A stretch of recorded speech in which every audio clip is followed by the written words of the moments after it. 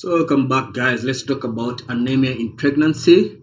So this is a major obstetric problem and degree of anemia is characterized by mild anemia that is hemoglobin levels between 8 and 10, moderate anemia that is 6 to 8, severe anemia that is 4 to 5 and uh, very severe anemia when you're having anything below 4. So in severe anemia, the pregnancy is in danger of abortion, premature labor, or uh, intrauterine fetal death while in very severe anemia, the mother's life is also in danger. So most cases are due to iron deficiency resulting from dietary deficiency or blood loss from hookworms, infections, hemolysis due to malaria, and sickle cell disease. So anemia may also be due to uh, folate deficiency resulting to inadequate intake, uh, so iron deficiency and folic acid deficiency often occurs together causing uh, dimorphic anemia.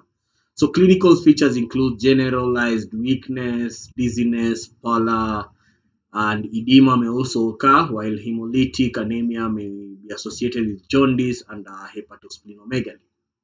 So investigations include a full hemogram to check out the HB levels, PCV, and PBF, uh, sulfur hook, uh, hookworm ova and uh, schistosomal uh, ova where applicable. So urine, urobilinogen, and uh, schistosomal ova where is also applicable. Blood cells for malaria parasite and sickle celling uh, test. Management is basically by raising the HB oral or parenteral hematinics. Transfusion is also important eradicate cases where dietary deficiency is involved. We treat malaria as per and treat hookworms. We give hematinics in dietary deficiency if it exists. Uh, we also prevent uh, recurrence. How do we prevent this? By basically giving prophylaxis iron throughout pregnancy, uh, anti-malarial prophylaxis, uh, balanced diet, and routine antenatal screening for first visits and visits near term. Thank you very much.